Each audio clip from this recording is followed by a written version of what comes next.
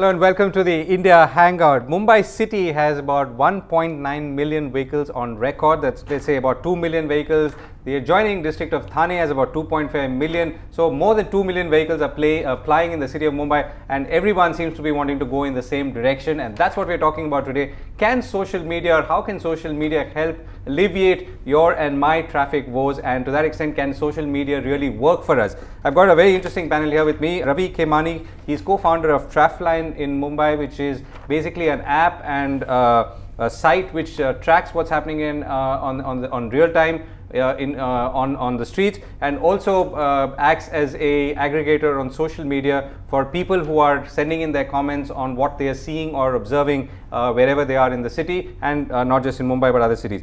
Also joining me, Raxit uh, Sheth, who, uh, Sheth, who runs Smart Mumbaikar, another similar initiative which is catching on fast and that also tries to help all of you really reach home uh, safely and uh, hopefully soundly. Also joining us will be Dr. B.K. Upadhyay, Joint Commissioner Traffic Police and we'll ask him how uh, social media can help make his life better as it helps us as well. Ayaz, exam. Huh? Good God, don't remind me of the longest time. But even today, I Yeah. spent about an hour, a little more than an hour Getting to coming central from Mumbai. Getting to getting to central Mumbai from Bandra. There was some kind of a you know wall collapse or something near Worli Naka, and there was traffic chaos. Hmm. Uh, I finally made it here. But you've given me two lifelines. I must get more about get to know more about these two guys who who are helping out people or at least mapping Right. this because I think it's become so crucial Yeah. uh, in urban clusters where especially now with India becoming so kind of car centric Yeah. You know i think that uh, we all need these Right. tools Right, and and there are huge uh, amount of comments coming in from uh, all of you, including suggestions, and I'm going to uh, take them uh, very shortly. But let me begin with you, uh, uh, Ravi. Uh, tell us about Traffline very quickly. I mean, what made you set it up, and how are you doing today in terms of uh, the traffic or the kind of mentions that you're getting on social media and so on? Um, uh, so Traffline is basically, in short, it's a live traffic information provider. Uh, thanks for bringing me on the show, first of all.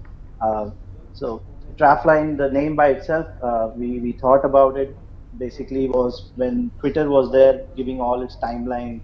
The Facebook was also coming out with timeline. So we thought about traffic timeline, and that's how we conceived this name, Traf Traffline. Uh, and basically, as I told you, it's an aggregator of traffic information from the field. It's 24 hours running. Every one minute, the data is updated. As of now, I can tell you the Eastern Expressway is is flooded and it's it's running very slow right from Sion till Byculla. So we are advising people to take Eastern Freeway rather uh, if they're coming from the central suburb going south. Uh, so you know, and the waterlogging conditions, uh, the you know, over the time we have evolved and over time we have uh, gradually progressed ourselves. And Twitter has been the mainstream where we have got a good amount of audience, uh, you know, asking us information, and now we are also crowdsourcing information from them.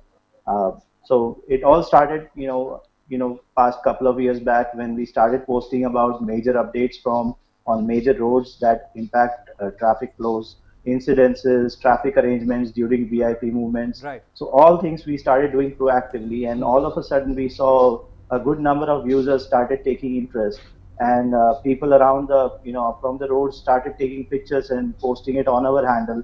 They're sharing it with us, and uh, you know very proactive users. Uh, they, they they're asking us traffic incidents, traffic status before they started leaving. This is what the culture we want to bring in the city. Um, that just look up traffic information before you leave, and then you will be safe. You will have a very reliable journey, uh, Right. a traffic-free journey. Right. Okay. I'm going to come to you in a moment, Raxit. Uh, uh, Dr. Upadhyay, uh, thank you very much for joining us. So, a quick question. Uh, describe to us the nature of your challenge uh, uh, today, particularly at a time like this when you have incessant rains and uh, peak traffic conditions combined with maybe other problems like flooding and breakdowns.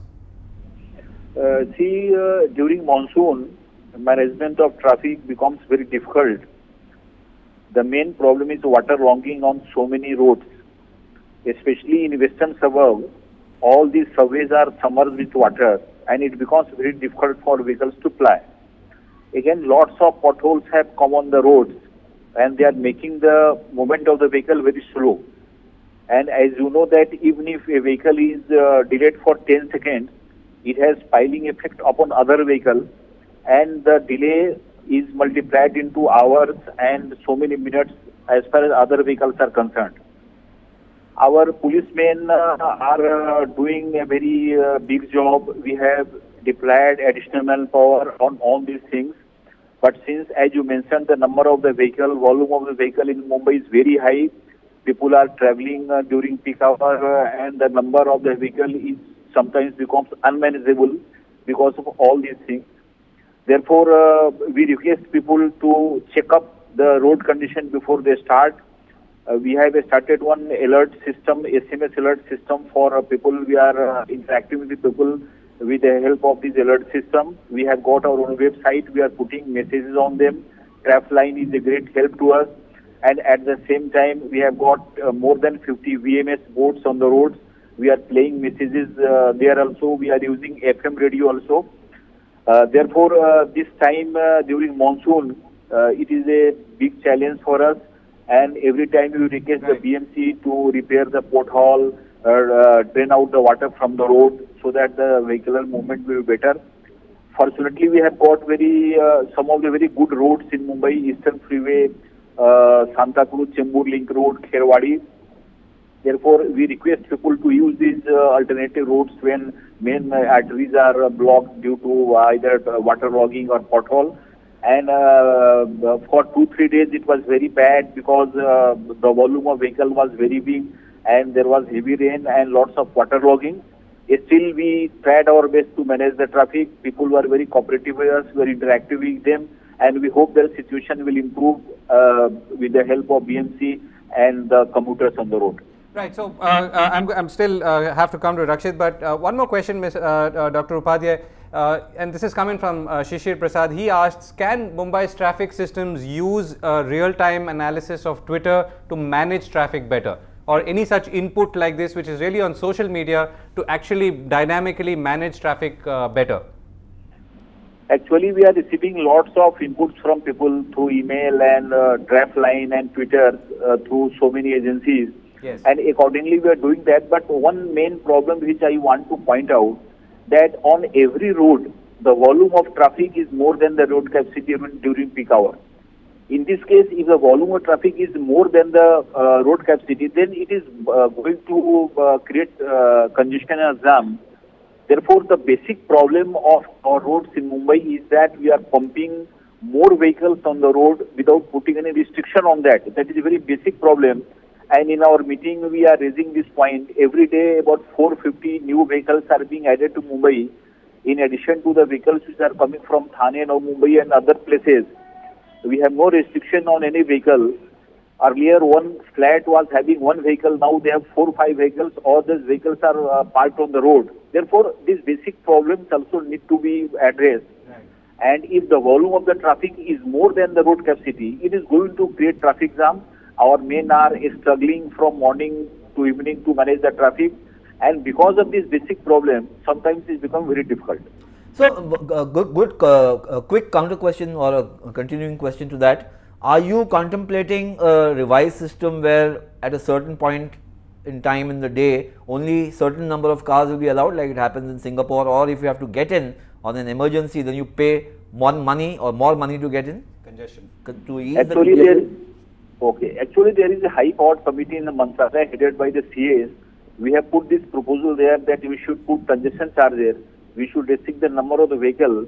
Actually, it is a policy decision taken uh, to be taken by the government, and that is pending with the government. At the same time, I just want to uh, mention one thing that the volume of the vehicle which Mumbai has can't be handled manually in Western countries where they have been able to manage traffic very well, they have put cameras on all the important junctions and the presence of traffic police is very less. Human intervention is very less. Therefore, we have requested the government that all important junctions of Mumbai city should be covered by cameras. They will keep eyes on the traffic violation also and it will be easy to book the violator because if human intervention is less, then there is a very less uh, scope of doubt for uh, hodgepodge. Right. Therefore, that proposal is also pending with the government. And if all these things come up, then I think it will be better for us to manage the traffic. Today, our men are doing their best to manage the traffic, but with all these constraints and restraints. Okay, good. So uh, I'm going to come back to you in a second, uh, uh, Joint Commissioner. Uh, Raxit Sheth, uh, tell us about Smart Mumbaikar. I mean, what made you set this up and how have you been uh, doing your bit to help make life more easy for some of us or most of us? Sure, sure, sure. Fantastic. Uh, first of all, uh, thanks for uh, just inviting us to this show. Uh, our just uh, follower is, uh, you know, just trying to thank Mumbai, Mumbai Traffic Police a lot. Each and every, you know, just constable who is just having their just duty in the rain or, you know, it's, it's fabulous. So, you know, um big shout from just our just follower. Okay, Smart Mumbaikar is basically uh, just trying to solve number of uh, vehicles on road. Let's say right now, uh, what is happening that everyone will take one auto, one taxi, and they go, and they they all will got uh, in the in the jam. You know, so what we are just trying to do is that we are just trying to have minimum empty seat on your vehicle, whether it's auto, taxi, car, or bike. That is just on the real time. Right. Okay. Uh, Ravi, let me co- uh, come back to you. Uh, you know, what is the kind of challenges that you face? I mean, you know, one of the questions coming in, for instance, is what's the authenticity uh, of the data that you're getting or the post that you're getting? Number one. Number two, what about timing? You know, someone may say that Tulsi Pipe Road is jammed, but by the time it kind of circulates through social media and surfaces again, uh, you know, the situation may have changed. Are, are these some of the key challenges that you face in ensuring authenticity? Well, uh, you know, to be honest, yes, uh, these are challenges, but not very uh, significant. Uh, you know, when a traffic jam does start, you know, it does start backing up, and uh, you know, if uh, you know these, these what what we call these as a boundary conditions. When you start from home, there is no traffic, and suddenly when you when you start uh, when you come on the highway, you see traffic jam. So these are these are boundary conditions, and these are bound to happen during peak hours or during um, you know untoward incidences like vehicle stalls or accidents. Um, so for this purpose, we have something called as push notifications, where uh, whenever you, uh, you you subscribe for the service or you download our app, and immediately when you start your journey, you know you will be informed whenever such such, untoward incidences or there are traffic jams ahead of you. Uh, you know you will be alarmed about those incidences. So yes, uh, and the authenticity wise, yes, uh, that was a major uh, you know hurdle to cross in the earlier stages. But right now, I think you know our, we have a good amount of users uh, and good and Mumbai Traffic Police is also helping us validate the service. Uh, so I'm uh, you know we are pretty conf- uh, you know the accuracy bit is was challenged earlier. Uh, you know we did uh, face those you know ourselves and we did make configuration changes in our system time and again and right now you know our users vouch for it time and again so we I, I don't think the authenticity or the accuracy is anymore a problem in our system So Ravi, very quickly, how do you collaborate with the Mumbai Traffic Police? How, how do you all reach a handshake or an interface? So it started during the Ganesh festival in 2012 uh, with the former joint commissioner, and uh, right now how we are working is, uh, you know, uh, uh, if there are any events or any uh, you know big alerts or major stretches of road that get congested, we give them a holistic view of you know what uh, what uh, what we see on our uh, digital maps, and we we provide them those information. At the same time, due to the crowdsourcing, uh, you know uh, the ability of crowdsourcing through these social media handles that we have on Twitter to tell them of from the field. You know, some users post. There are many users that post us with with photos uh, and incidences what have occurred, and we just inform them back. And this happens around the clock also. You know, during late night hours. Right. So, uh, Ravi, can you give us a sense of what kind of traffic you're seeing uh, on your own side as well as uh, the crowdsourced part, particularly in the last few days, where obviously, as I can also see, the concerns have been the highest? Uh, so yeah, that's what. So like uh, for late late night hours, uh, day before yesterday, there was a there was a jam piling up on JVLR highway, uh, going to going from SEEPZ towards Western Express Highway, and we informed uh, uh, the the traffic authorities about that, and they were able to deploy resources and they were clear clear them right right away. Uh, you know, other other sources like waterlogging or uh, uh, you know, uh, uh, you know, vehicle getting stalled or any untoward incidences on the on the roads. Uh, whichever we get from the crowd, we, we, we post it back to the uh, to the traffic control room, and also we do get information from the traffic control room as well. Uh, some some kind of information that we have to relate back to the users. Uh, for example, during uh, the time when uh, there were rallies during the election, uh, we we particularly requested uh, the, uh, the traffic authorities that uh, you provide us the information which we could relate back to our users too. Right. Okay, so I'm going to now talk about how this can all, uh, uh, you know, it, uh, Ravi, uh, or any detours. Yeah, uh, Ravi and Raxit, uh, it, I, I know this is working, right? And I think what we want to understand here today is how can this become better and something more mainstream? Uh, and before that, uh, a couple of comments uh, from uh, Twitter, and someone says, "I know people will have suggestions." Sumit says, "I know people will have suggestions, but why not first thank traffic police?" So obviously acknowledging the role of the traffic police there. So uh, let me come back to uh, uh, Dr. Upadhyay. So the question we are asking is, you know, how do we make this more better uh, in terms of more real time, more authentic, and something that's uh, integrated into our lives and the way we plan our day? Actually, we are trying our best and we are roping all the agencies which are responsible for this. Especially BMC has to play a very uh, big and important role in this because they provide all the infrastructure. Now MMRDA, MSRDC, they all have come to play a big role in this, all these things.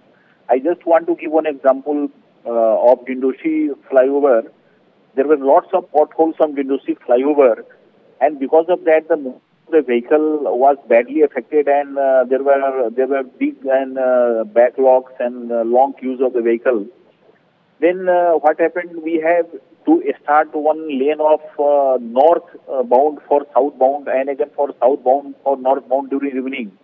Therefore we are doing all these alternate things in order to improve the traffic situation which has been caused because of rain but just I want to see that as long as we don't address the basic problem of traffic, as I have discussed earlier, in near future it will be very difficult for us to manage the traffic. At present, we are very starved of manpower. We have got only 3,500 manpower, and for a city like Mumbai, we need at least 5,000 uh, police personnel, traffic police personnel to manage the traffic. In this case, we are taking the help of uh, traffic wardens also. They are helping us on so many occasions. Uh, often we are appealing to people through social media or different uh, platforms that this should also help uh, us because in Mumbai everybody is in a hurry. Nobody wants to wait and watch. And that is also putting lots of problem to us. Uh, we are receiving lots of complaints from pedestrians because most of the vehicles park their vehicle on the pedestrian crossing at the uh, junction. And our traffic men, when they tell them that please uh, take your vehicle back, they can't take the vehicle back because there are lots of vehicles have already parked behind them.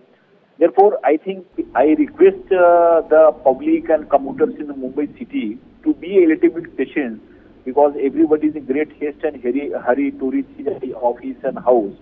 Therefore, uh, thus the overall situation of the traffic will improve only with the help of uh, technology, better uh, traffic management, improvement in manpower, cooperation by people, better civic sense. And one thing I want to mention that the driving licenses which are given in our society and in our country, they are not tested properly. The knowledge and skill of driver is very poor. Therefore, when he comes on the road, he does not know the traffic rule. He does not have that sense of traffic discipline, and that also adds to the woes of traffic. Right, I think so. Some Therefore, good points there, uh, uh, Dr. Upadhyay. So I think what you're saying is that we have to fundamentally address the problem of supply, which means that the number of vehicles have to be brought down or managed.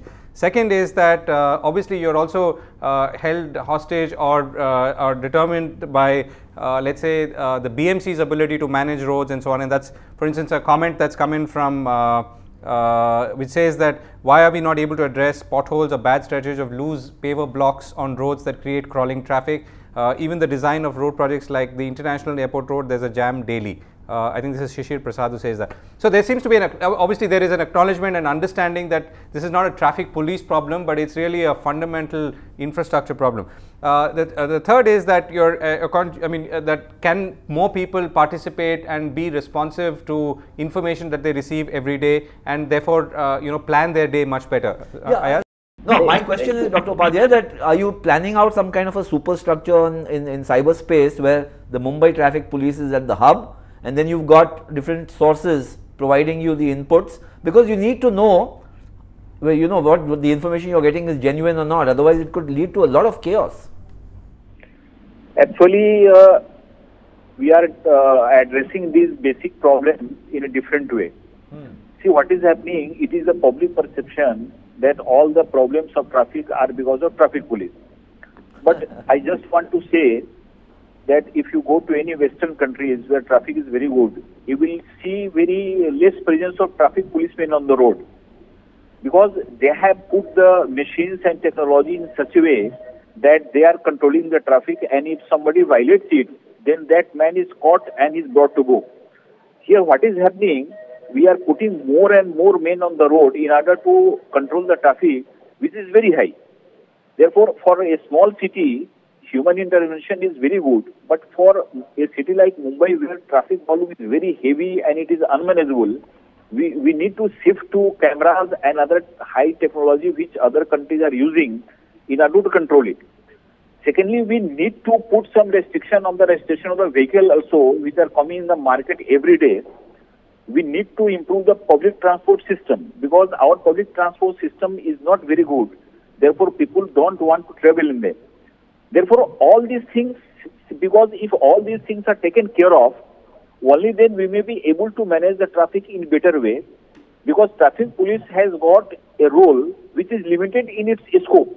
Therefore, if it is supported by a superstructure, if it is supported by technology, if it is supported by good policy uh, on the part of the uh, administration, Right. then it will go a long way in improving the situation. Right. Okay. Uh, so, uh, Raxit, let me come back to you. What's next? What are you planning uh, and uh, planning to do in from your as an app and in your effort to crowdsource data on traffic uh, to make life better? Uh, yeah, sure. So basically, uh, right now, uh, what we are doing is that we are kind of helping just Mumbai people to uh, to just give uh, authenticate data about their traffic, and more to that, we are just uh, not only just information just provider, but we are also just trying to uh, reduce, uh, you can say, just number of uh, vehicles on the road and there are a few more uh, just uh, basically just comments from just our just follower that why Mumbai uh, Mumbai traffic police are not banning heavy vehicles during just office hours. Right. Okay. So that's a question for uh, you, Joint Commissioner, and we'll come back to that. Uh, uh, uh, Ravi, what's next? I mean, how, how does this go to the next level in terms of uh, you know integration with uh, people's uh, you know daily sort of information flow uh, with, with the system of with the traffic police runs, and you know so that everyone's on the same page when it comes to generation and consumption of data. Right. Uh, so uh, yes, we are moving forward in technology, and thanks for asking this question. Actually, so just giving out information doesn't solve the pain point. So we are trying now, you know, you know, our level best to integrate with sources at the root grassroots level uh, to give them information. For example, performance studies of you know when they come up with a flyover, how was the traffic flow uh, earlier and how was the traffic flow now? How is how's the traffic flow improved? Based on this we can do some predictive analysis. We're also coming up with future traffic predictions or forecast uh, the algorithms for that and processes that can help people to plan their uh, plan their uh, traffic uh, their travel plans better uh, so and then carrying it to multiple cities and just not with mumbai so Right, okay. yeah going forward and also we are trying to automate this whole twitter uh, system where uh, you know we are getting feeds from users we are we're getting inquiries from users so that we can answer them back in a very quick and efficient manner rather than deploying our manual sources uh, you know to answer each and every inquiry Right. So, okay. So, good. So, if you're following uh, Traffline Mumbai, uh, then be assured that uh, there's someone working there to ensure that you will get responses quickly. Uh, uh, Dr. Upadhyay, let me come back to a quick question.